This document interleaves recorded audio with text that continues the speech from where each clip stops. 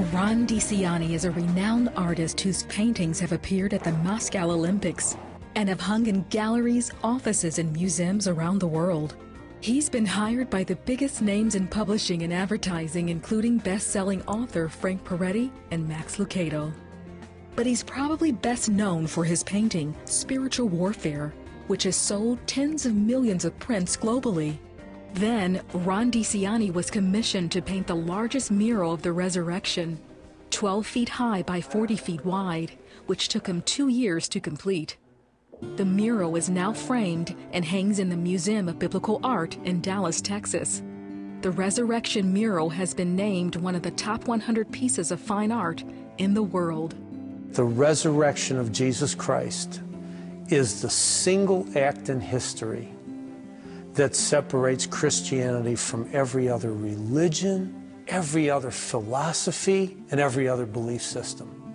When I was commissioned to do that, my first thing was to immediately go to Scripture, to try to understand this deep significance of the resurrection. And God gave me this incredible idea of having Christ emerge from the tomb, which I've never seen done before. I wanted to stop a moment in time when he grabbed the sides of the tomb and walked out.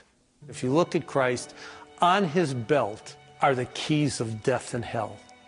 Christ is the central theme of the painting. However, we have a cast of characters. The first on either side of Christ are Moses and Elijah.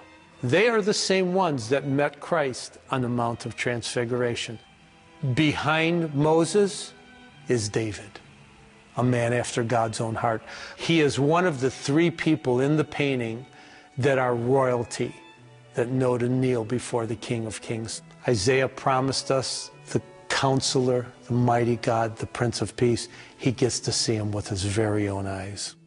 Behind Isaiah is Abraham, the father of nations, gets to see the one who brings all of those to heaven. On the other side of Christ, Elijah, who was transported to heaven without dying, Noah now knows all that he went through for 120 years was worth it. Between Noah and Elijah, you'll see up above a dove flying past the rocks. The symbol of the Holy Spirit who literally raised him from the dead. Queen Esther, who was willing to perish, now sees the one who was willing to give up his life. Behind Esther is John the Baptist, who at one point in his life wondered, is he really the one now he gets to watch him walk out of the tomb. So he knows he's the one. In back of him, again kneeling, is Daniel. Royalty again. Daniel was a governor. If you look at the far right corner of the painting, you'll see Mount Calvary, also known as the place of the skull, or Golgotha. That's where Jesus was crucified. And above the three crosses in the distance, you'll see a rainbow. Christ the angels, and the guards are all totally physically represented at that moment. However, the cloud of witnesses on either side are all transparent at some point because they're in another dimension. Looking back at Christ, you'll see that there are special cracks right around his head, symbolically forming the crown of thorns he wore.